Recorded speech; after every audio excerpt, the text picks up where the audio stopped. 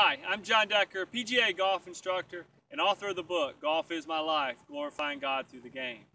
Many times when I get students who have a reverse pivot, in other words, their weight goes this left on their backswing and goes right on their downswing, I will put them on an uneven lie or an uphill lie like this.